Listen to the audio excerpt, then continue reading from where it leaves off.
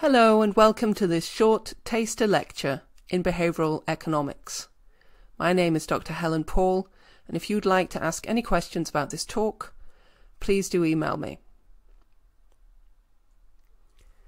I'm going to take you through ideas about something called economic man. Economic man is the basis for a lot of the traditional economic theories and modules which were used in the past. However, a new school of thought has appeared called behavioral economics, which is about how people behave in practice rather than in theory. And it owes a lot to the discipline of psychology, especially with issues around experimental design. I particularly want to talk to you about our own experiments module, which is run in our own laboratory, and which you can take if you come to the Southampton Economics Department. In the past, theories in economics were often highly unrealistic about human behavior. People were supposed to be utility maximizing, which meant that they did essentially what was best for their own self interest in all cases. They behaved totally rationally with regard to their choices and preferences, and they were able to access complete information. This very simplistic idea of the world is called economic man. And it doesn't really help us understand how people operate in practice. In reality, we know that people have incomplete information, and it's costly for them to access it or to use it in any way. Plus, people have noticeable cognitive biases. For instance, you're more likely to pay attention to what's said first and last in a lecture. That doesn't mean that you're behaving completely rationally. We know that in reality, people aren't completely rational. We think of them as having bounded rationality because they don't have complete information and they're not always processing that information without bias. Also, economic man was difficult to square with ideas around altruism and self sacrifice. And there are points where clearly economic theories based around economic man do not work. It was very difficult, for example, to believe in such a creature as economic man when you start to see financial stock market bubbles appearing, people herding into certain stocks and buying too many of them, pushing up prices to highly unrealistic levels. How can that happen if people are totally rational? We also can think about why do people believe in fake news?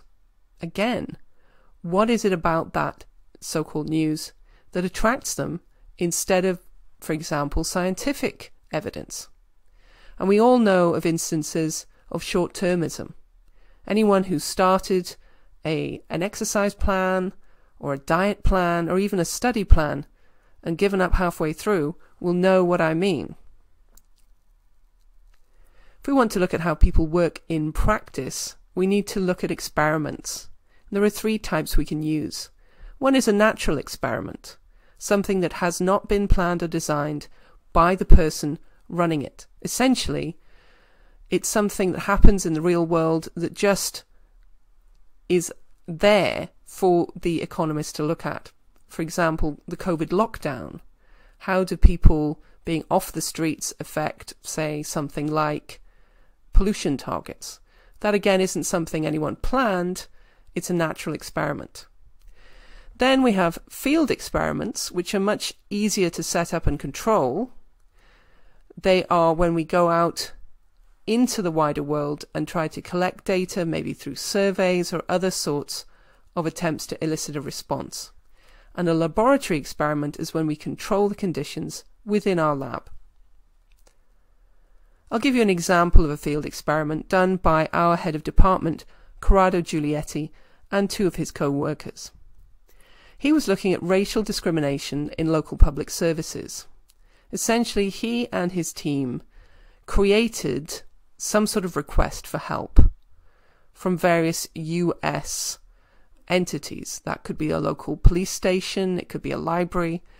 And they created a reasonable sounding request and then duplicated it. it was two copies that are the same in every detail except that one had a name that sounded like an African American name and one did not. Then they sent off these requests and saw whether there was a delay in response, whether they simply got a no instead of a yes, whether the language used was more abrupt, if the person thought they were dealing with an African American citizen. And Corrado discovered that actually there were big differences in the way African Americans were treated, especially in the former slave owning areas of the southern states. That research was then communicated back to the people concerned who've started putting in policies to improve their treatment of their African American clientele. Now, that's a field experiment because you're going out into the world and asking for a response. A lab experiment is going to take place within your own laboratory setting. It's a much more controlled environment.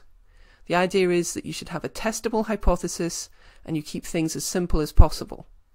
So that could be around questions of whether people cooperate with one another under certain conditions, or it could be something that one of our students did.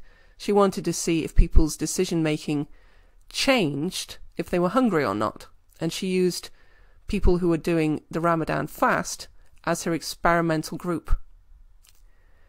You want people to be invested in what they're doing, so there has to be some sort of payoff as a function of the actions taken. That could be anything. It could be a reward of money, it could be a reward of sweets, it could be, in the case of our module, that some of the marks for the module are a function of the actions taken when you're you're going through the experiments. You want to have a way of distinguishing between control and treatment conditions.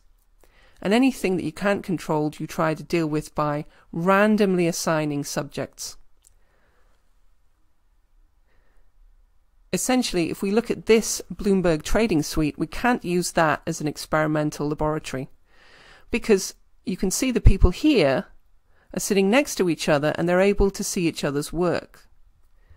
With psychology laboratories and economics experimental laboratories, you can't do that. You have to have these screens so that people are not influenced by the person sitting next to them. That's why the lab is different to most just ordinary computer rooms. And that's necessary in order to do robust research. When you take experiments as a module, what we do first is we allow you to have hands-on experimental experience in that lab. You run the experiments, then you feed back on the results you obtained. The lecturer then discusses the relevant economic theory that underpins the experimental design, and you discuss the applications of that theory. This allows you to really get a hands on understanding of how theory works in the real world and reminds you that you are not economic man and neither is anybody else.